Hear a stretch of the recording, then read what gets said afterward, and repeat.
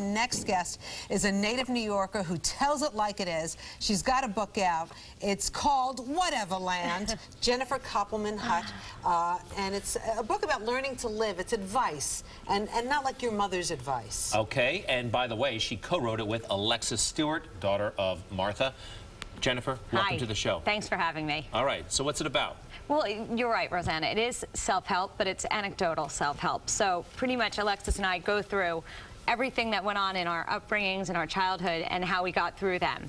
And specifically, me, I'm nuts and have tons of anxiety. You seem very, you know, well-adjusted and, and no, well not at down. all. No, she not sleeps even next kinda. to a panic button, according to the book. Yeah. Well, I have an alarm that calls the police, but then I also have a panic button. And in case and a what husband who would beat someone up, I would hope. In case someone...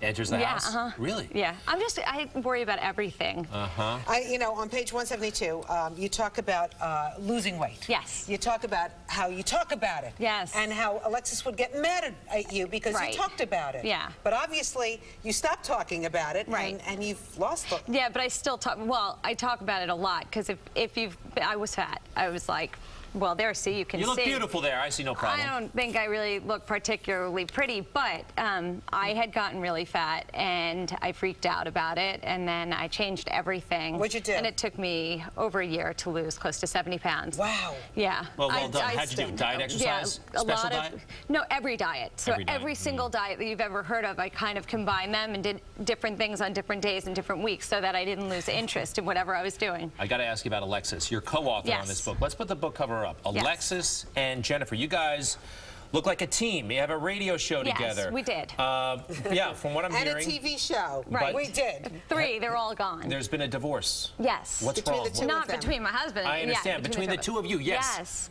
Well, she dumped me. Why? But that's okay because my listeners and my fans didn't. So ultimately, I'm all right, She- thankfully. why? What happened? Well, I. What did you do?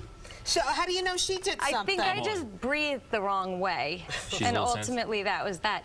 No, I just think that we're very different people and we worked together for a long time. An on-air partnership that lasts close to six years, I think is quite an accomplishment. Uh, You came on So. this show several times with Alexis. Yep.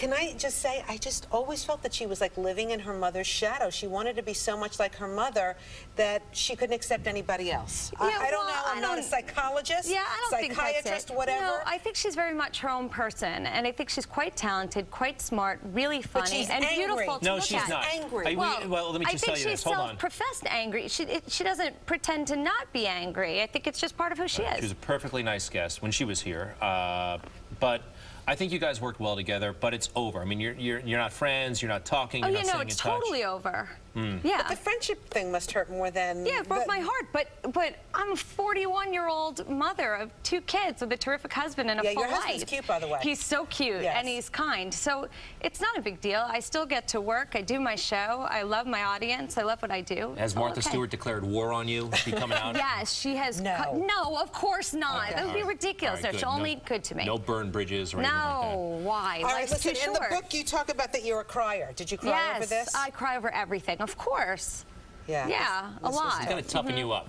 I don't think I have that ability to be tough. Oh. I ask my kids if they're scared of me. They say no. All I want is for one person, one time, somewhere to be afraid of me. So we got the book, and you're going to have a new radio show potentially next year?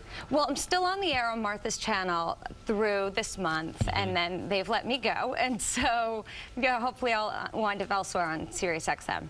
And the same thing with your, your TV show? Yeah, TV shows are just, they're, they're done, and if more opportunities come up, that would be great. But, um, All yeah, she's it's all available. good. She's available. All right, Yes, you never hire know. me. Hire her. and listen, you come with like a heavyweight. Your Yeah, dad's my here. dad. Mm-hmm. Charles Koppelman's here with you today. I mean, Yeah. really, who gets escorted by a man well, who's he's like... here because he's a huge fan of yours. Well, it's not about me. What's his story? Tell us. Who, my dad? Yeah. You don't Oh, know who her dad is? Well, I just met him. He seems like a very nice gentleman. But uh, for Oh. those who don't know, tell us. Well, for me, he's my dad, but um, he's been in the music business for a gazillion years. He's on the board of Martha Stewart's company for the past five or six years, and he's working with a lot of big shots, and he's In fact, super he, smart. he dropped, after we went on the J-Lo rampage, Mm. that he uh, knows J-Lo He and does. Marc Anthony Yeah, and that's true. both of them. yeah. So I said Why is he I waving his hands And he frantically? dresses So really, I really said I well. was sorry and whatever, land. No, but for me, he's he's um, he's a great grandfather to my kids and my sister and my brother's kids, and he now got an iPhone, so he's good at texting. Listen, Jennifer, impressive. I I think you and uh, Alexis have to work things out. And It's, uh, she's going I'm really her own okay. way. I think I'm you two good. crazy- Whateverland, I'm- she's I'm doing going all right. her own way this is the worst time for you guys to break up. You're on a book tour. Well, that's a tough thing, but hopefully people still buy it. The book's message is just be okay who you are, live with your foibles, enjoy them, laugh through the pain, and move forward. I like that. Yeah. Happy holidays. Thank you. Thank Good you for having me you on. So good again. to see you. You have the nicest success. family. Thank you, and yours as well. Thanks. Greg, say. See you later. and you. Goodbye. Talk Nice to see you. All right, coming up on Good Day New York, Adriana Lima. Did she? You and uh,